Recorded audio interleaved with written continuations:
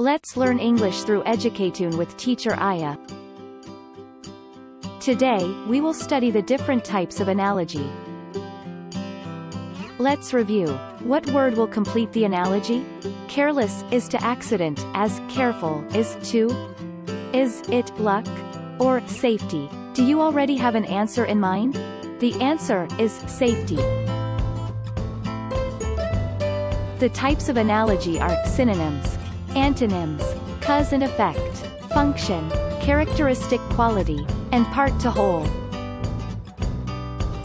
Function analogies describe how the object works. Example pen is to write as knife is to cut.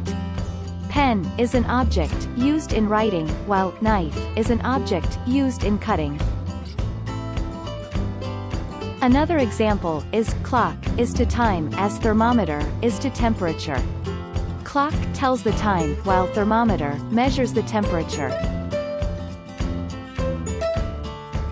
Characteristic quality analogies describe the characteristic of an object or a noun.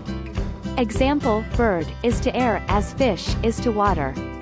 Bird is characterized to live in air, while fish is characterized to live in water. Another example is pillow is to soft, as chocolate is to sweet. Pillow is a soft object, while chocolate is a sweet treat. In part to whole analogy, the first word is part of the second word as a whole. Example, leaf is to tree as petal is to flower. Leaf is part of a tree while petal is part of a flower. Another example is France is to Europe as Philippines is to Asia. France is part of Europe while Philippines is part of Asia. Let's practice. Select the correct word to complete the analogy. Child is to family as student is to is it class or teacher Saw is to cut as hammer is to pound or screw. Bed is to sleeping.